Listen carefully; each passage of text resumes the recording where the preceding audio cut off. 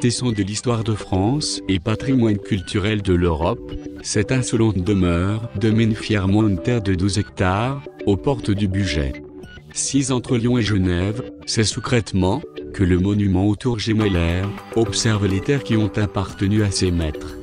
Façonnés dans les matériaux les plus nobles, terrassant les siècles et ne connaissant aucune équivalence moderne, les châteaux s'imposent, quand ils se vendent, comme les biens immobiliers qui animent les passions les plus ardentes.